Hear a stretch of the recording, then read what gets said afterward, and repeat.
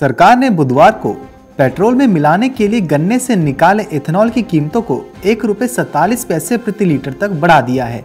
कीमतें दिसंबर से शुरू हो रहे 2021-22 मार्केटिंग ईयर के लिए बढ़ाई गई हैं। सरकार का कहना है कि पेट्रोल में इथेनॉल ज़्यादा मिलाने से तेल के आयात का बिल कम होगा और इससे गन्ने के किसानों के साथ शुगर मिल को भी फ़ायदा मिलेगा। प्रधानमंत्री नरेंद्र मोदी की अगुवाई में आर्थिक मामलों पर कैबिनेट कमेटी सीसीई ने गन्ने के जूस से निकाले एथेनॉल की कीमत को वर्तमान बासठ रुपये पैंसठ पैसे प्रति लीटर से बढ़ाकर तिरसठ रुपये पैंतालीस पैसे प्रति लीटर कर दिया है। कीमत को दिसंबर 2021 से शुरू होने वाले सप्लाई ईयर से बढ़ा दिया गया है।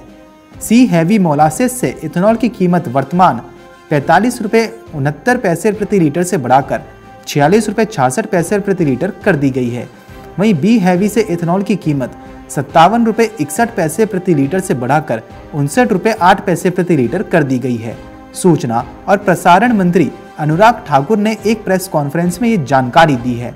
तेल मार्केटिंग कंपनियाँ सरकार द्वारा तय की गई कीमत पर इथेनॉल को खरीदती हैं। अनुराग ठाकुर ने कहा है कि इथेनॉल को पेट्रोल में मिलाने का आंकड़ा 2021-22 मार्केटिंग ईयर दिसंबर जनवरी में 8 फ़ीसदी पर पहुँच गया है और अगले साल इसके 10 फ़ीसदी पर पहुँचने की उम्मीद है। भारत की 2025 तक एथेनॉल को पेट्रोल में मिलाने के आंकड़े को बढ़ाकर 20 फ़ीसदी तक पहुँचाने की योजना है। वहीं भारतीय रिज़र्व बैंक आरबीआई के गवर्नर शक्तिकांत दास ने सरकार के इस फैसले पर कहा है कि केंद्र सरकार का हाल ही में एक्साइज ड्यूटी में कटौती करने का फैसला महँगाई के लिए सकारात्मक है। उन्होंने कहा है कि खाद्य महँगाई अब काबू में है, लेकिन कोर महँगाई में बढ़ोतरी जारी है। इसके साथ सरकार ने बुधवार को कॉटन कॉरपोरेशन ऑफ़ इंडिया को सत्रह हज़ार चार सौ आठ दशमलव आठ पाँच करोड़ रुपए की कमिटेड प्राइस सपोर्ट को मंजूरी दी है। यह सपोर्ट 2014-15 से 2020-21 के साथ कॉटन सीज़न के लिए है।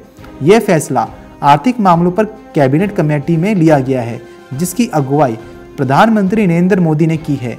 सीसीई ने कॉटन सीज़न अक्टूबर सितंबर 2014-15 से 2020-21 के दौरान कॉटन के लिए एमएसपी ऑपरेशंस के तहत नुकसान की भरपाई के लिए खर्च को मंजूरी दे दी है। Bureau report, Market Times, TV.